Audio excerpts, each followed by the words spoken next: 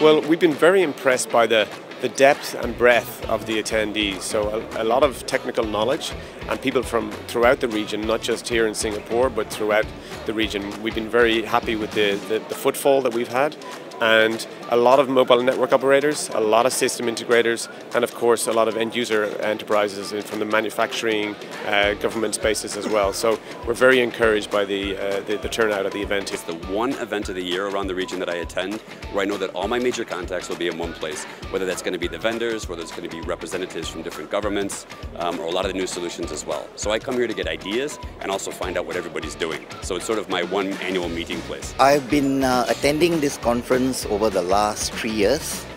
Uh, I do see a difference. Uh, I feel that uh, it has evolved. Uh, there's a certain level of maturity. I think this is a very, very interesting event. I mean, I really enjoyed the session by the minister speaking about uh, smart nation and and some of the key initiatives that Singapore government is driving out. And there are a lot of interesting speakers that have been lined up. So I'm very impressed with the lineup of the topics. And also I think if you look at the buzz around here, it's really happening here. Equally important, uh, Sigfox uh, considers that Singapore is a an IoT hub, really, a showcase country uh, for the use cases of IoT around the region. So having a presence here was important not only in terms of our business being present here, but participating in this event and supporting the Smart Nation initiatives that are supported by the government.